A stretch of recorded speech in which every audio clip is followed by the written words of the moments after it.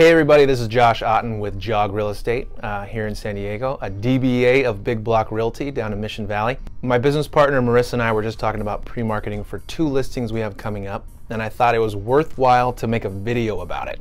So when I say pre-marketing, uh, I don't know what you think of, but I'll tell you what we what we do when we pre-market a house. First of all, it happens six to nine days before the house goes on the market.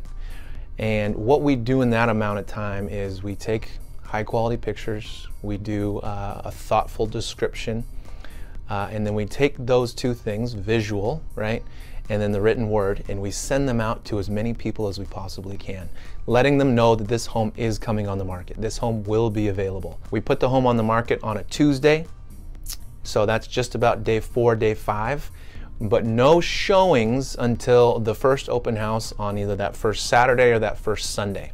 Imagine this, so nine days before your home goes on the market, or actually is even available to see at the open house, you take your pictures, you start sending it out through email, social media, including YouTube, Facebook, Twitter, Instagram. You put it on Zillow and Trulia and all these other sites as a coming soon listing. You have a sign in your yard that lets the neighbors and the passerbys know that your home is coming on the market. Uh, and then four days later, or five days later, you actually upload it to the MLS. And there's certain forms, in case there's any brokers out there listening, there's certain forms you have to have signed to do all this. But then you put it on the market on a Tuesday or a Wednesday.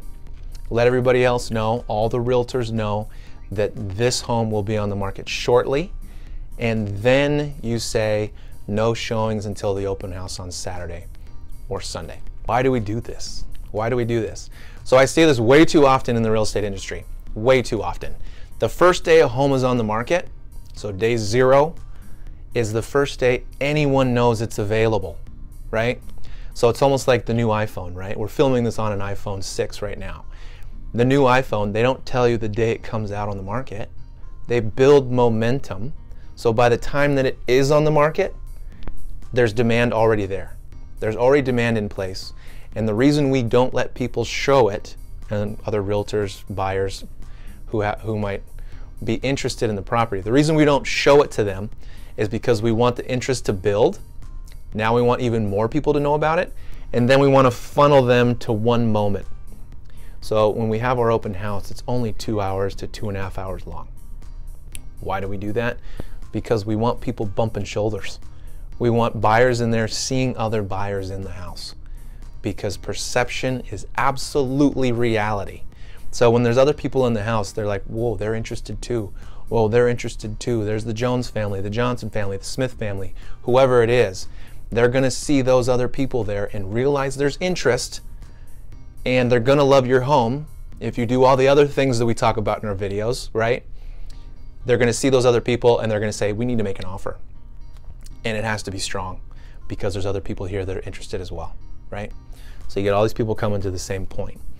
Uh, those are the things that we do. You build a dam, and here's the water level. So day one, day two, day three, day four, day five, day six, day seven, day eight, day nine, you have the water fully up this dam, and during that open house, it's almost like breaking open the dam, right?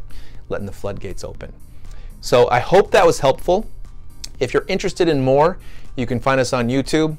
Uh, if you're interested in more, you can find us on uh, Facebook. But also, you can email us at, uh, what is it, josh.otten, is that the best one? josh.otten at jog real estate, and I'll send you everything we got. You know, if you're thinking about selling your home, I'm more than happy just to share everything that we do. So whether you use us, another agent, or you decide to sell it yourself, you can be successful. So I hope that was helpful. My name again is Josh. Talk to you soon. Bye-bye.